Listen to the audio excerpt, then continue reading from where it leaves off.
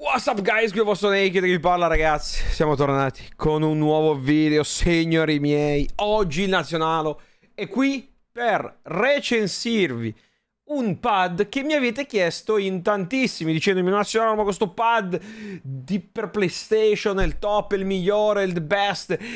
Oggi vi spiego tutto nel dettaglio e vi dico cosa ne penso Visto e considerato che ormai sono più di due settimane che lo sto usando e per chi ancora non lo avesse capito, stiamo parlando del Dual Sense Edge. Allora, guys, eccolo qua il nostro Dual Sense Edge. Allora, esteticamente, veramente molto bello. Mm, I materiali sono abbastanza premium. Dico abbastanza perché c'è solo magari qualche piccolo accorgimento che poteva essere dato a questo pad, però tutto sommato diciamo per quanto riguarda poi il prezzo, che comunque è una, è una buona spesa, comparto materiali, posso ritenermi veramente soddisfatto. Io partirei dalla cosa più importante, o meglio, una delle più importanti di questo pad.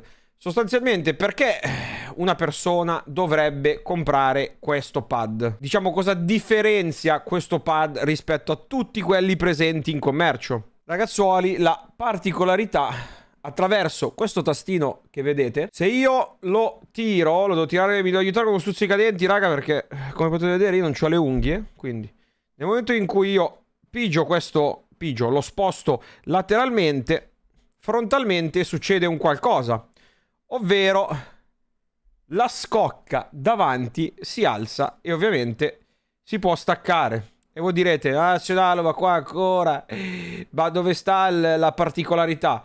Raga, la particolarità, come potete vedere, ci sono due alette, una a destra e una a sinistra, che sostanzialmente, tirandole su, cosa fa, raga? Fa in modo che noi possiamo togliere l'analogico, ok?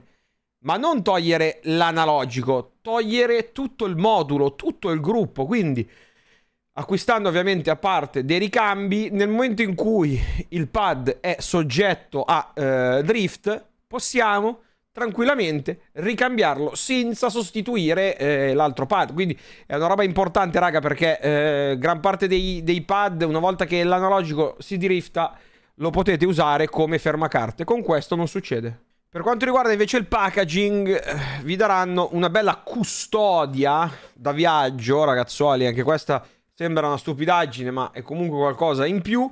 Con i ricambi della parte alta dei, degli analogici nel momento in cui si va a usurare. In realtà c'è proprio la sostituzione anche per quanto riguarda le altezze.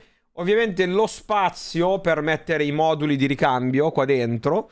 E come potete vedere in alto anche delle linguettine che vanno in sostituzione alle palette dietro.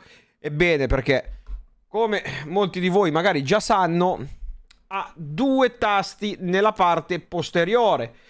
Come potete vedere, io utilizzo le linguettine, ok? Che eh, vi dico già, raga, per chi ha usato Aim Controller sono perfette perché sono posizionate esattamente come i pad um, appunto dell'Aim Controller. Io avendoli usati con queste linguette mi trovo veramente bene, ma volendo voi semplicemente rimuovendo la linguetta in questione, potete sostituire la linguetta e mettere l'orecchietta, che non è l'orecchietta con la the rap, questa è l'orecchietta a tastino, come potete vedere. In realtà potete fare anche delle combo, quindi magari tenere l'orecchietta a, a sinistra e la linguetta a destra. Potete un po' sbizzarrirvi, oppure metterle tutte e due uguali. Abbiamo qua il controllo della corsa per quanto riguarda i grilletti su tre livelli. Come potete vedere basta alzare questa sticella. Abbiamo la corsa totale, la corsa media e la corsa rapida per gli sparatutto. Attenzione, non è un tasto digitale, ok? È quasi come un digitale, ma non lo è. Ha una minima corsa, niente di, eh, come dire, incolmabile rispetto al tasto digitale. Era giusto per selezionarvelo. In realtà io mi trovo molto bene e, e tempisticamente il tempo di reazione è quasi come un tasto digitale. La scocca, raga, totalmente in plastica, c'è solo un po' di gomma, ok?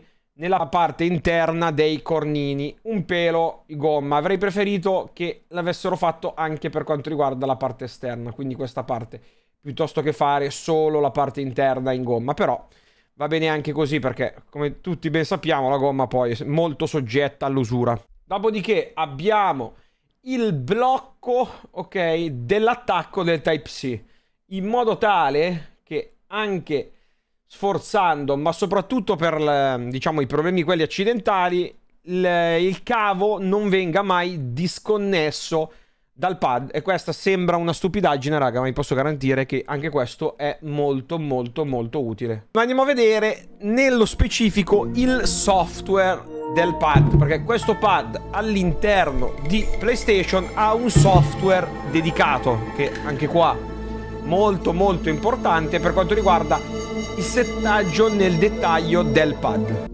Ma prima di iniziare ragazzoli a farvi vedere il software vi faccio vedere una tips importantissima che dovete fare prima di tutti ovvero la diminuzione al massimo per quanto riguarda l'input lag, ok? Quindi il tempo di risposta tra il comando e l'azione che verrà fatta in game. Andate su impostazioni, andate su accessori, andate su controller generale, metodo di comunicazione. Allora, qua dovete selezionare cavo USB, ovviamente se giocate con il cavo, chiaramente se giocate sul divano a 20 metri dal, mm, dal, dalla Play, eh, a meno che non avete un cavo gigantesco, dovete usare il Bluetooth del, del pad.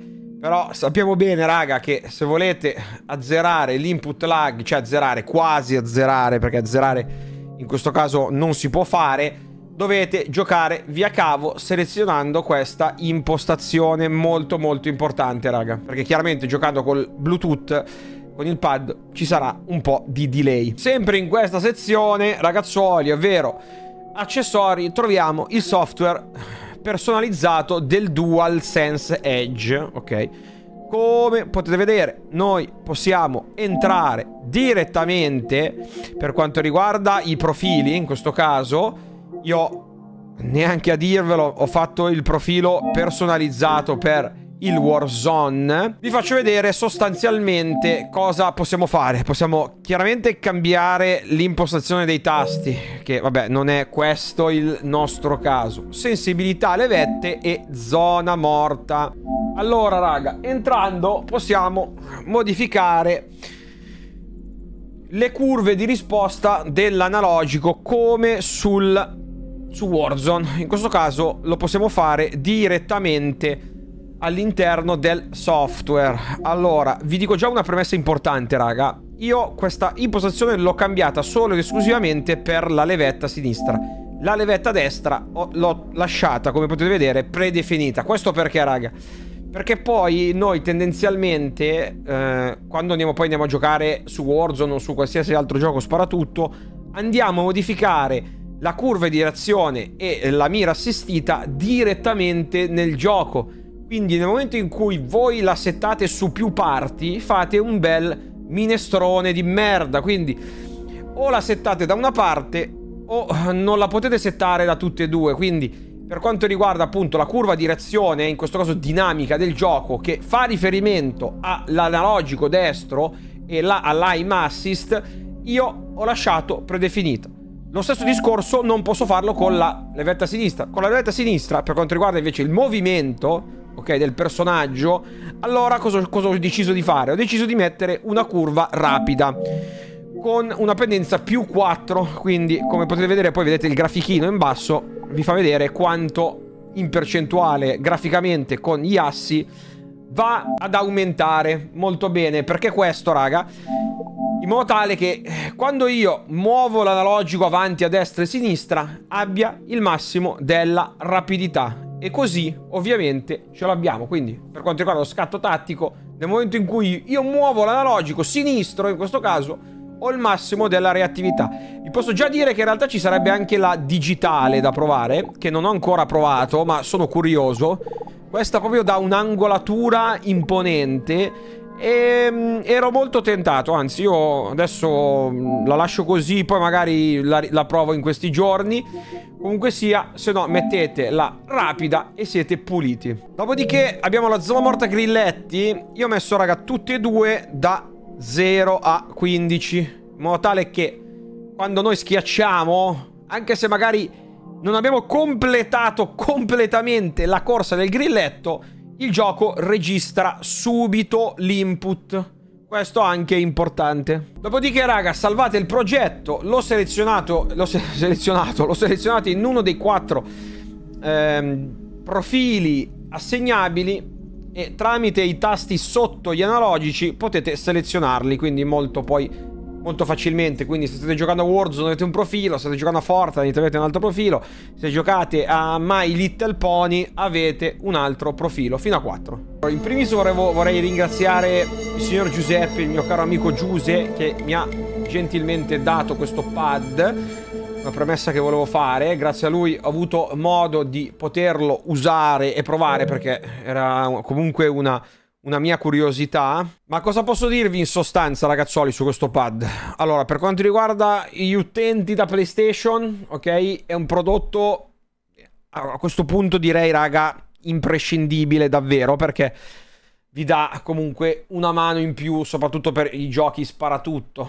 Questo, vabbè, è innegabile. È chiaro che se giocate a giochi single player, un pad del genere, non ve ne fate quasi una mazza, eh molto attenzione se giocate a FIFA, raga, un pad così lo potete avere, ma in realtà è relativamente sprecato. Ma se giocate a giochi sparatutto, questo pad lo dovete avere. Ma perché avere nel, nello specifico questo pad e non un altro?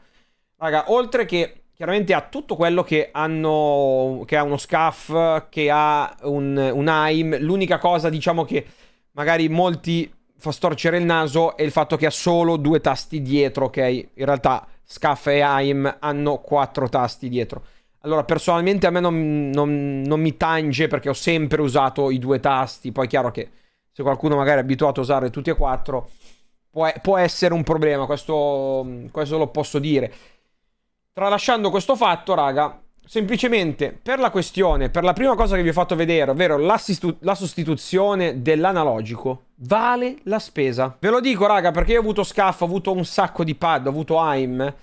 I pad, se li usate tanto, difficilmente vi arrivano all'anno, ok? Durano molto meno. È chiaro che poi è sempre in base a quanto giocate.